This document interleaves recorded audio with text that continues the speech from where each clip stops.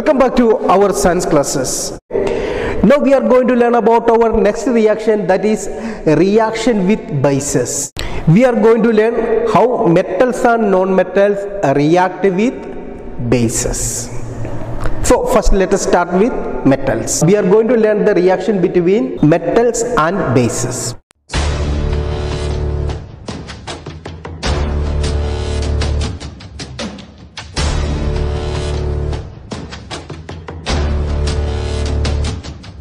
To know it first let us perform an activity okay?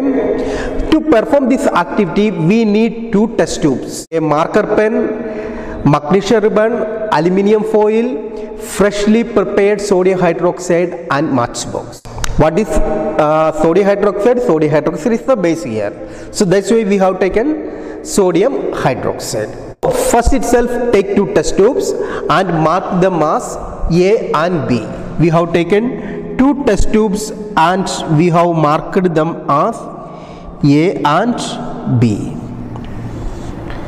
So there are two test tubes with the help of marker pen we have uh, marked it as A and B. To this beaker we have to take nearly 5 ml of sodium hydroxide solution.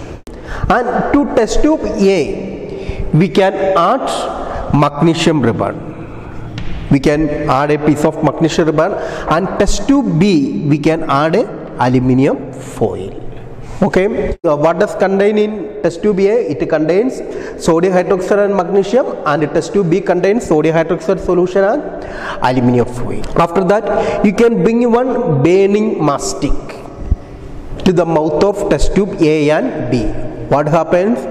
Yeah in test tube A and B we can see that matchstick burns with pop sound matchstick burns with pop sound it indicates the presence of hydrogen gas.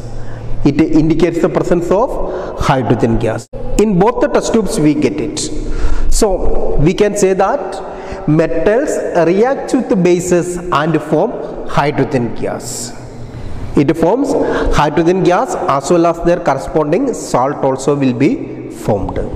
So main thing metals reacts with the bases and forms hydrogen gas. After studying about metals, usually we were studying about how non-metals react with bases.